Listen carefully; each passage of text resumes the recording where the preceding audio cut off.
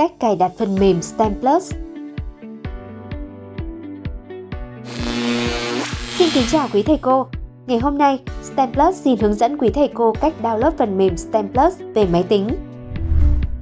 Thầy cô có thể tự download phần mềm STEM Plus bằng cách truy cập vào trang web stemplus.vn. Sau đó, nhấp chọn menu Tài nguyên và chọn phần mềm. Tại đây, giáo viên nhấn nút tải về để cài bộ phần mềm STEM Plus và chờ đến khi phần mềm được tải xuống hoàn toàn.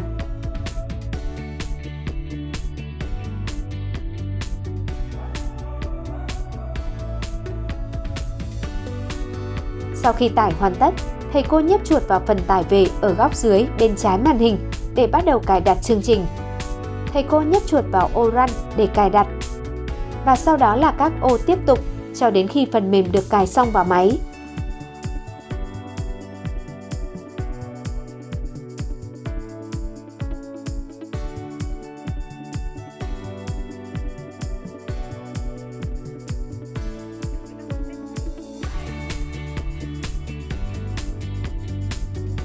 và kết thúc bằng nút Kết thúc Finish. Sau khi cài đặt thành công, phần mềm sẽ được hiển thị trên màn hình desktop. Lúc này, trên máy tính của thầy cô sẽ xuất hiện cùng lúc hai phần mềm.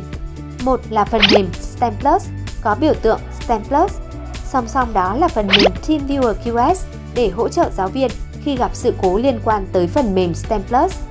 Thầy cô chỉ cần gửi mã ID và password trên phần mềm TeamViewer QS về cho STEM Plus để nhận được sự hỗ trợ